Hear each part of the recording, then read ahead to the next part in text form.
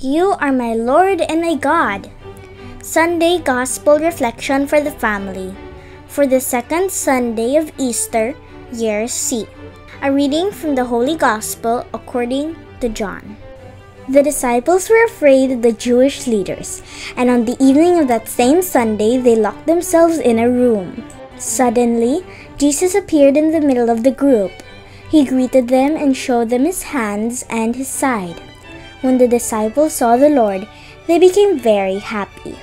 After Jesus had greeted them again, he said, I am sending you, just as the Father has sent me.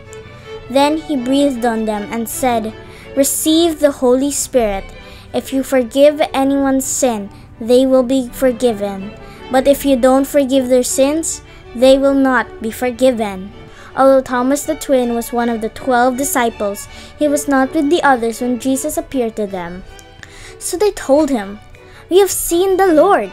But Thomas said, First I must see the nail scars in his hand and touch them with my finger. I must put my hand where the spear went into his side. I won't believe unless I do this. A week later, the disciples were together again, this time Thomas with them. Jesus came in while the doors were still locked and stood in the middle of the group. He greeted his disciples and said to Thomas, Put your finger here and look at my hands. Put your hand into my side. Stop doubting and have faith. Thomas replied, You are my Lord and my God. Jesus said, Thomas, do you have faith because you have seen me? The people who have faith in me without seeing me are the ones who are really blessed.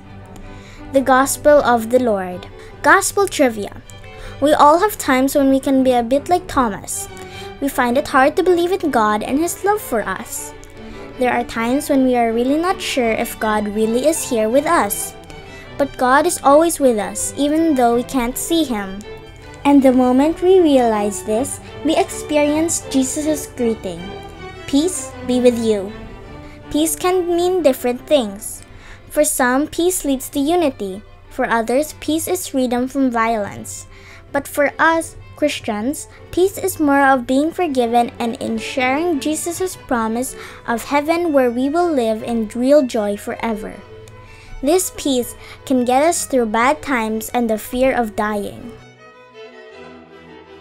Gospel Reflection For the parents, does my presence at home bring peace and joy, or am I the source of fear and stress for my spouse and my children? Like Jesus, do I model calmness and kindness in times of difficult moments? For the children, Thomas believed in the risen Lord because he saw and touched Jesus. But Jesus said that real believers believe in Jesus even without seeing him. Do I believe in Jesus even if I don't see him? Does the thought of Jesus make me happy, especially when I am sad or not feeling well? You may pause to reflect.